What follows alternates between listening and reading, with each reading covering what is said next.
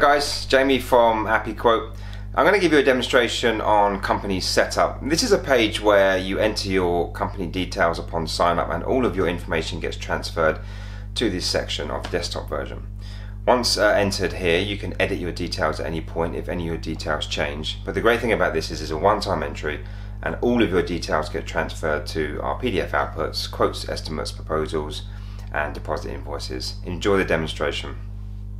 Now, everything is controlled from services in terms of your specifications and your detail output on your quotes and estimates. What I mean by that is your specifications and job descriptions is controlled from services on the desktop. So if I click into interior, you can see I've got a pretty substantial list here of all the things to do with interior decorating. Now, these are our main headings in terms of the work to be done. For example, ceilings, and then we have more subheadings, specifications that are linked under ceilings, for example, painting ceilings matte emulsion, painting ceilings silk emulsion, and so on.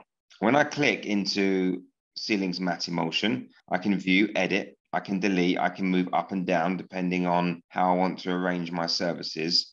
If I click on view, I can see the entire specification, detailed, elaborated specifications that will impress your clients, customers, and prospects in choosing you to do the business with. This is a breakdown of the work and the job required to do that particular task. I can also edit that service if I want to. If this is not something I particularly do as part of my working processes, I can take that out. I can add a new specification and I can save that, and that will save everything that I want in terms of being able to use these services on the desktop when quoting, estimating, and on the app. I also have options down here to turn on and off my toggles per service. So, for example, if I want to be able to take photos per service, I can toggle on and off, and same for voice clips and material selector enabled. Now, all of these are turned on for default settings because most of these are handy and convenient things to have in the application as you can clearly see already, a lot of the setup is done on the desktop. I'm going to close that one because I liked it as it was. Uh, same as exterior, you have the entire exterior working process, masonry, smooth render, textured render, rough cast render, new render, eaves, oil-based gloss, water-based gloss, wax satin varnish, oil-based Sadolin. If there's not something that we have here for you, then you can add it. And